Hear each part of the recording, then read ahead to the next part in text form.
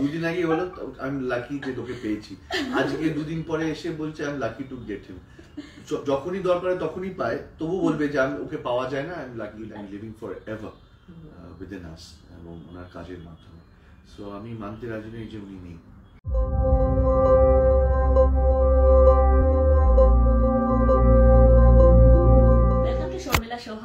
আজ আমার বেশ মানে কপালটা ভালো। ফাইভ স্টার হোটেলের রুমে আমি আজকে যিশুর সঙ্গে। The handsomest Tollywood Bollywood and Telugu প্রত্যেকবার দেখার সময় প্রত্যেক দুদিন আগে বলো আমি লাকি যে তোকে পেয়েছি। আজকে দুদিন পরে এসে বলছে আমি লাকি টু গেট হিম যখনই দরকার তখনই পায় তবু বলবে যে আমি ওকে পাওয়া যায় না আমি লাকি দ্যাট এত কত এত এত হাজার হাজার মেয়ে তোমার ফলোয়ার তার মধ্যে আমি একমাত্র যে তোমার মানে দেখা পাচ্ছি সেটা লাকি না? কি রে বাবা সবাই সবাই দেখা পাচ্ছে.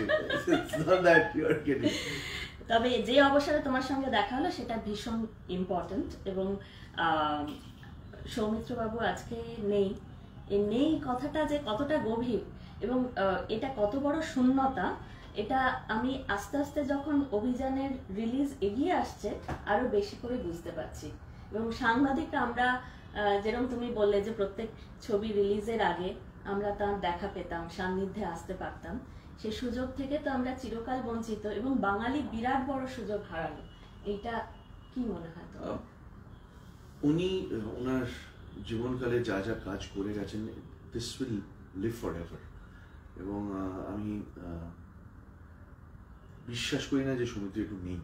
কারণ সমুদ্র একটু এত কিছু দিয়ে গেছে আমাদের সেটা আমরা যদি মানে কি বলব ওনার ছবি দেখে শেখা বা উনি যা বলে গেছেন সেগুলো থেকে শেখা ওনার নাটক থেকে শেখা ওনার ওনার জীবন থেকে শেখা সেটার জন্য আমাদের দুটো জীবন লাগবে শেখার জন্য। So I think he still living in us he will be he will be living forever within us এবং ওনার কাজের মাধ্যমে। সো আমি মানতে রাজি নই যে উনি নেই.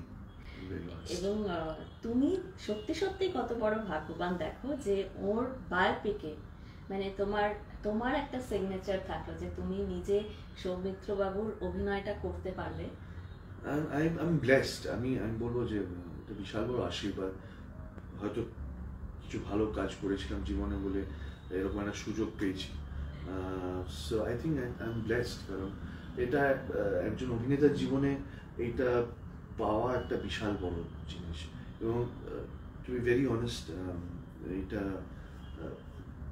কয়েক মাস আগে আমাকে রাহুল, আমাদের অরুণোদয়, রাহুল আমাকে ফোন করে একটা অদ্ভুত কথা আমাকে বলে।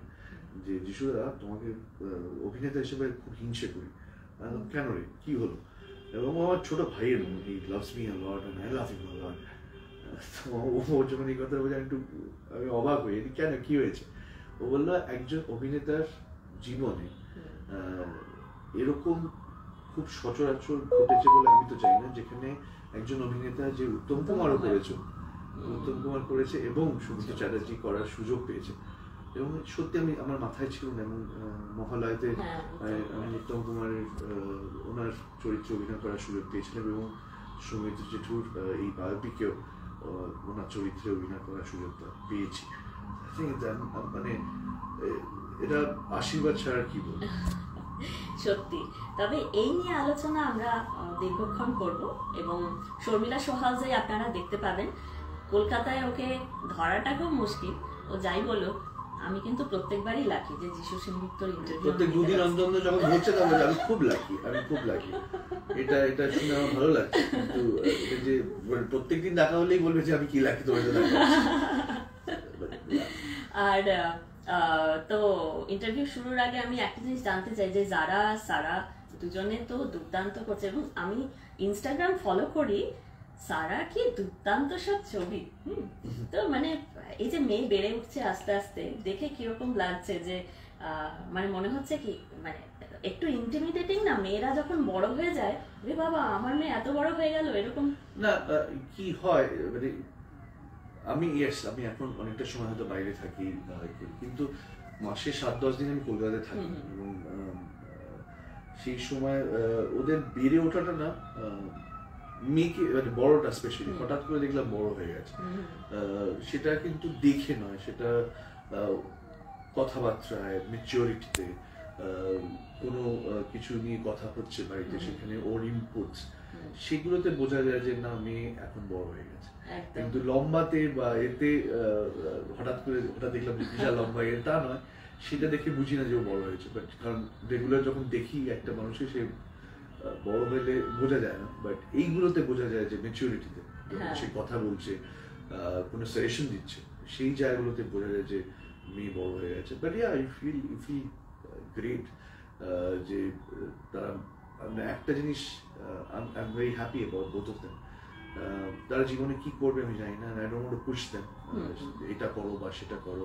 I can guide them because they are individual they have come with their own destiny আমি এইটুকুনি বলতে পারি আহ, যে ওরা মানে স্কুল থেকে যেটুকুনি খবর পাই প্যারেন্ট টিচার্স মিটিংয়ে অ্যাটেন্ড করার চেষ্টা করি আমি প্রত্যেকটাই। তো আহ, সেখান থেকে যেটা আমি যেটা জানতে চাই সেটা সেটাতে আমি খুব খুশি they are they are become beautiful human beings so সেটা কাছে খুব ইম্পর্টেন্ট পড়াশোনা করল কি করল না। তারা জীবনে কত বড় হলো in terms of education R in terms of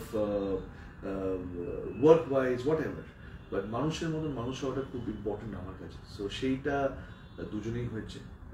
think খুব আমরা আমাদেরও শুভকামনা রইল তোমার দুই মেয়ের জন্য। যা মেয়েরা যখন বড় হয় বা মেয়েরা যখন সাকসেসফুল হয় তার থেকে বড় আনন্দ বোধহয় কোনো বাবারই না সেটা মেয়ে হোক ছেলে হোক আমি দুজনকে আলাদা না। বাবারা মেয়েদের প্রতি অ্যাটাচমেন্ট একটু অন্যরকমই হয়। কিন্তু আমার কাছে মেয়ে ছেলে বা ছেলে মেয়ে এরা আলাদা নয়। বাট সন্তান ভালো করলে বাবা মাদের অবভিয়াসলি ভালো লাগবে। আমি আলাদা নই। আমি আমিও মানুষ।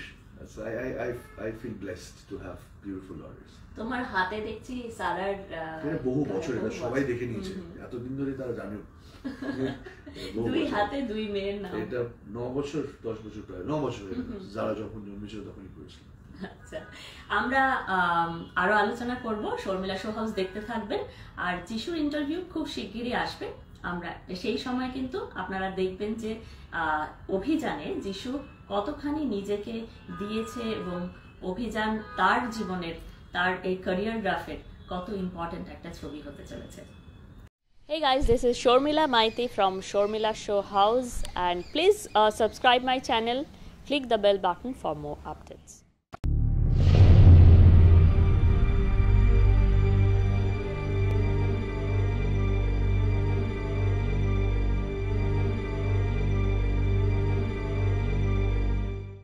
ভিডিওটি ভালো লাগলে অবশ্যই পেজটিকে লাইক করুন, সঙ্গে বেল আইকন অন করতে ভুলবেন না এবং ফলোইং এ ক্লিক করে পেজটিকে ফেভারিটস করতে ভুলবেন না।